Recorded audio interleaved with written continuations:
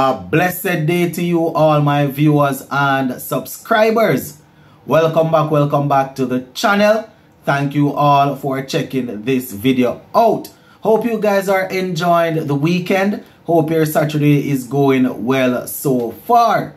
Alright, so a couple of stories I would like to zoom in on in this one. Now, earlier today, we would have seen where the UAE, they were able to easily brush aside New Zealand in a T20 game. So we're going to go through um, that, give you a recap of how it went. And we're also going to talk about the game that is set to play later on tonight. The St. Lucia Kings, they are down to play the Guyana Amazon Warriors. Now, earlier today, we should have had St. Kitts and Nevis Patriots versus Trinbago Knight Riders. But after three overs, they had to call that off because of rain. So, just give a listening ear until the end. We're going to talk about the game that is set for later on tonight. Going to give you my pick three. Going to call it pick three, where I will highlight a couple, three players from each team that I am looking forward to seeing. So, just give a listening ear, man. Hit that subscribe button if you have not yet subscribed. And also leave a like on the video. Alright, so let us kick things off with uh, this New Zealand versus UAE. Then we will go down into the St. Kitts and Nevis, uh, down into the Guyana Amazon Warriors versus the Kings. So New Zealand, my viewers, they were heavily defeated by the UAE. Um, actually, you know, UAE, they won the game by 7 wickets with 26 deliveries to spare. Yes, so the New Zealand team, they batted first. They scored 142 for 8 off their 20 overs. 142 for 8 off 20 overs. And, you know, we had Mark Chapman. He was the top scorer in the middle order there. He made 63. And uh, we also had James Neesham who got 21. And at the top there, Chad uh, also scored 21. But apart from those guys, nobody else was able to get into double figures as the UAE bowlers were able to have their way. So 142 for 8 bowling for the UAE. Um, you know, we, we would have seen Khan. Uh, as of Khan, he took uh, he took three for 20 from his four overs. Uh, also, he had support from Mohamed Ula. He took two for 16 from four overs. And, you know, a couple of other bowlers picked up a wicket apiece. So, that is how the bowling went for the UAE as they were able to bowl um, to restrict New Zealand to 142 for 8. Now, when it was time for the UAE to bat, they lost um, Sharma at the top there cheaply. He's faced three deliveries and was removed without scoring. But Mohamed Wasim, you know, the captain, he stood and he made 55 from 29. You know, he was um, strongly supported by Asif Khan, who was left not out on 48 of 29 with 5 fours and 1 6. You know, Wasim, he scored 55 from 29, as I said, 4 fours and 3 sixes in the mix there as they were able to chase down that 142. They made 144 for 3 and that uh, they took 15.4 overs to get that. Now, Tim Southee, to the captain, he took one. He took one for 32. Uh, Santner, he had one for 26 from his three overs. Kyle Jamieson had one for 30 from his three overs as the UAE were easily able to get across the line. So that is how that game went, my people. So the series is now it's a it's a it's a three match um T20 series. It's now tied at one apiece. New Zealand won the first game and the UAE won the second game to set up the third game to see who is going to get that one. So looking good there. Yeah man, shout out to the UAE. Alright, so later on tonight, the plan is to have a watch along. Hopefully I will be able to do that watch along as the Guyana Amazon Warriors are set to take on the St. Lucia Kings.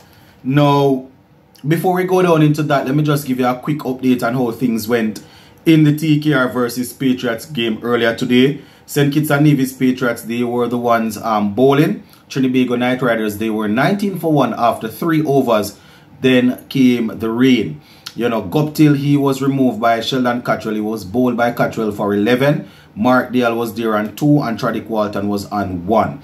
So that is how, uh, that is all the play that they got in that game there. So you know, not much to talk about. So we're going to quickly move on over to the Guyana Amazon Warriors versus the St. Lucia Kings. That is how um, that is that is that is what we are uh, expected to see later on tonight at 7 p.m. Just to remind you of the squads, uh, Guyana Amazon Warriors, they will be led by Captain Imran Tahir, Vice Captain Romario Shepherd, you know, Shimran Hetmyer, Gurbaz is also there, Odean Smith, Romario Shepherd, Azam Khan, Shai Hope, Gudakesh Motie, Dwayne Pretorius, Kevlon Anderson, Kevin Sinclair, Keemo Paul, Chanderpaul Hemraj, Ransford Beaton, Matthew Nandu, and Jonah Sinclair. So quite a few uh, Guyanese in that team there. Only a few players that are not um, local. So, you know, that is that is the squad there. Let me just give you the the St. Lucia King squad. Just remind you, we have seen them a couple of times already though. They are led by Captain Faf du Plessis. They have Johnson Charles, Sean uh, Williams, Alzarri Joseph, Roston Chase, Jair McAllister, Sikandar Raza, Peter Hatzoglou. Uh, we have Raja uh, we have Raja Pakatsa. Uh, uh, he's a temporary replacement for Chris Sole. Chris Sole is still there. So Chris Sole is there. Um, Roshon Primus, Royal, that's Jeavor Royal. Uh, Shadrack Descarte is there, Khary Pierre. Uh, Leandro Julian, Matthew Ford. We have Kimani Melius and McKenny Clarke. So that's the squad there.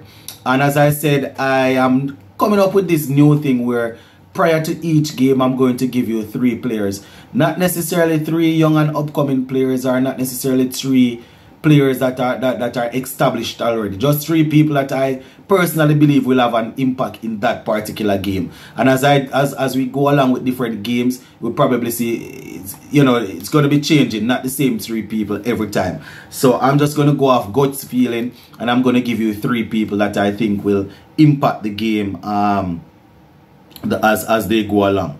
All right. Uh, obviously, one would expect that if if if if uh St. Lucia Kings playing Faf du Plessis and you know is expected to affect the game. So every now and again I might leave out Faf and just go for somebody else just to keep the thing going. So those are the squad my people and you know for the for the for the Guyana Amazon Warriors um these are the guys that I'm expecting to if they are in the playing 11 to really put up a, a, a good a good thing. So I am going for Gurbaz, you know, Rahmanullah Gurbaz, Rahmanullah Gurbaz. I am I am looking at him to get um to to, to, to, to get some runs in this game. Uh you know, let me see where's Kevin Sinclair. I am looking at Kevin Sinclair to bowl a good for a good uh, spell. You know, so Kevin Sinclair and um who else we going for now?